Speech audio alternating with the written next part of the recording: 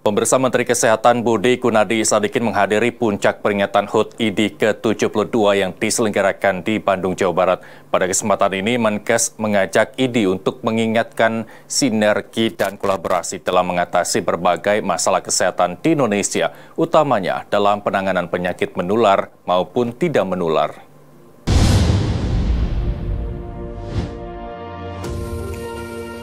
Menkes mengatakan saat ini Indonesia sedang menghadapi berbagai masalah kesehatan yang sangat mendesak untuk ditangani.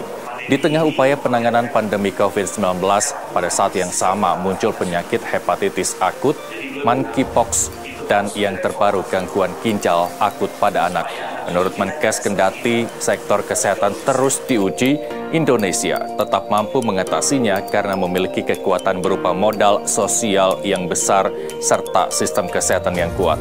Saat ini Kemenkes sedang menjalankan transformasi kesehatan nasional fokus pada enam pilar, yakni transformasi layanan primer, transformasi layanan rujukan, transformasi sistem ketahanan kesehatan, transformasi sistem pembiayaan kesehatan, transformasi SDM kesehatan, dan transformasi teknologi kesehatan.